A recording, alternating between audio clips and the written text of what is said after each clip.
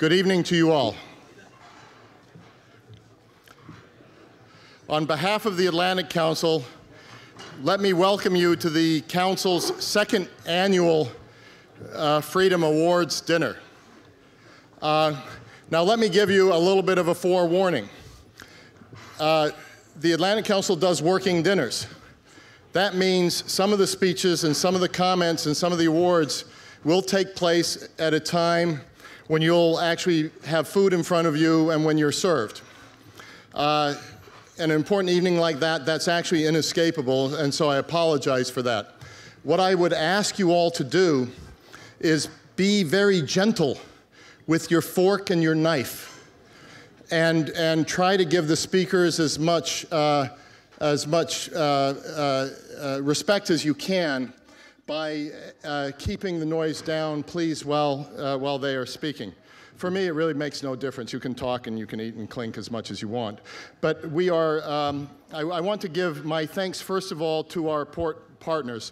First and foremost, Rafał Dutkiewicz, the mayor of Wrocław, uh, where literally this wouldn't be done uh, without him, and Pavel Świeboda at Demos Europa.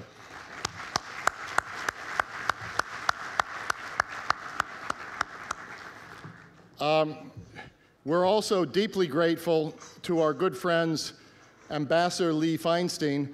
It must be said, I said Lee Feinstein a couple of times today, but that's because I'm of German heritage and my grandfather was born here, so I was thinking Feinstein.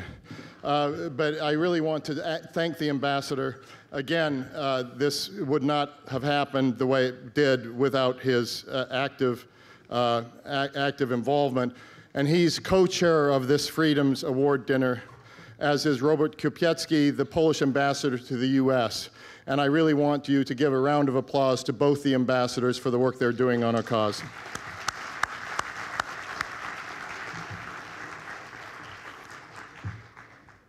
As uh, today's forum demonstrated, Central Europe is a critical partner as we look to reinvigorate the transatlantic partnership for leadership on global values.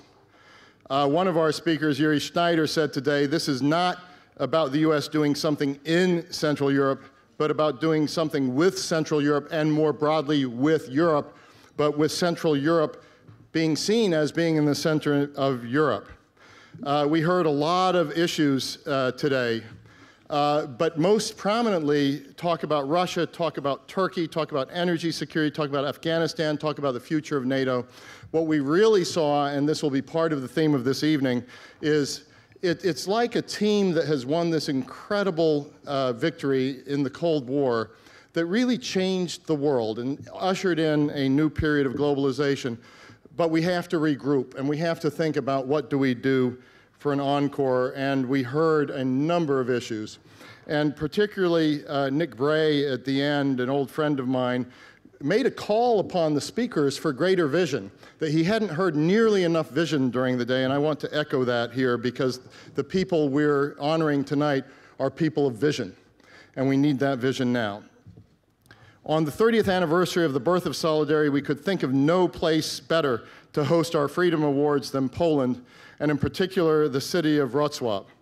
Uh, this city's rich cultural heritage and historic role in spreading the message of solidarity across borders provides the perfect backdrop. The Atlantic Council Freedom Awards recognize extraordinary individuals who have made a defining contribution to the struggle for freedom. Last year, we inaugurated the Freedom Awards in Berlin at the Hotel Adlon on the 20th anniversary of the fall of the Berlin Wall. This moment in history was a critical milestone, a vindication of history that freedom can prevail. And I must say, uh, I now, whenever I see uh, someone young and Polish in the world, and it must be said that if you travel a lot in the world, I can hardly believe you have this large of a population for how many young Poles one finds in one place or another world. I always stop and I say to them, Do you actually understand you changed the history of the world? Do you understand the, the courage of your fathers and grandfathers changed history? And they always look at me quizzically as if they don't quite believe what they're hearing. But it is true. And it's not just uh, Polish uh, fathers and grandfathers, it's fathers and grandfathers from this entire region at one point or another risked more than Americans have had to risk for quite some time uh, for, for their freedom. In Berlin, we paid tribute to those who brought about a peaceful end to the Cold War. We presented awards to Secretary Hillary Clinton, German Foreign Minister Guido Westerwelle, Berlin Mayor Klaus Wowereit, and Admiral James Stavridis on behalf, so we gave these words to them on behalf of the United, uh, the American people, the German people, Allied troops, and the people of Berlin. They were accepting on behalf of people who were heroic during those days.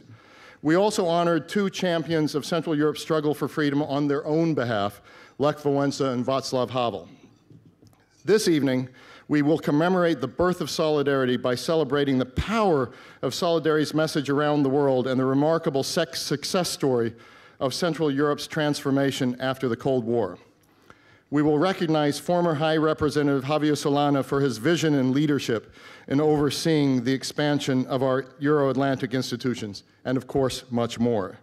We will honor President Alexander Kwasniewski for his steadfast leadership in, in the roundtable in bringing Poland into Europe's fold and securing its membership in NATO and European Union, and of course, much more. We will honor President Jerzy Buzek not only for his public service in his native Poland and his own struggle for freedom here, but for his historic nomination as President of the European Parliament, who, if you had told me when I was covering Poland in 1980 that there would be a Polish head of the European Parliament, I would have taken a big bet on that, and I would have bet against. Uh, and his unstoppable commitment to the cause of freedom worldwide. These men were critical to securing a Europe whole and free, though it's not complete yet. But as Poles know very well, the message of solidarity does not stop in Europe. At the Council, we recognize that to remain relevant, the transatlantic community must advance universal democratic values and support those fighting for freedom around the globe. So finally tonight, we will also honor the Damas de Blanco, or Ladies in White, for the courageous call for freedom in Cuba. We have Blanca Reyes, the spokeswoman for the Ladies in White, here tonight to receive the award on behalf of all the Damas.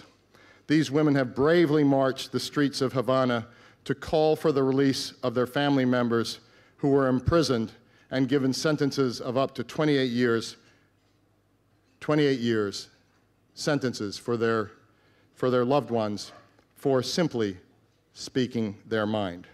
We honor tonight their courage and determination. These awardees exemplify the values for which our transatlantic community stands and which we should be proud to advance as universal values all around the world.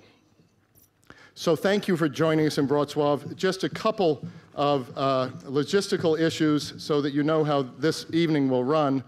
Uh, we will have our first two awardees before your main course. We will then take a break for your main course where you can talk freely at your tables.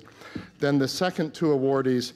And then afterwards, please do join us outside on the terrace for uh, what I have been told by people who have seen it will be a quite special and incredible fountain show presented by the city of Wrocław. Tonight's performance integrating light, music, and of course water will be Beauty and the Beast you'll have to decide who at this conference has been beauty and who has been the beast.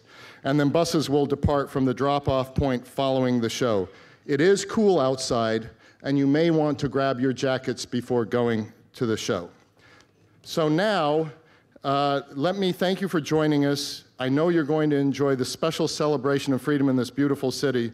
And at this point, I want to uh, hand the stage to the visionary mayor of Wrocław, Rafał Dutkiewicz.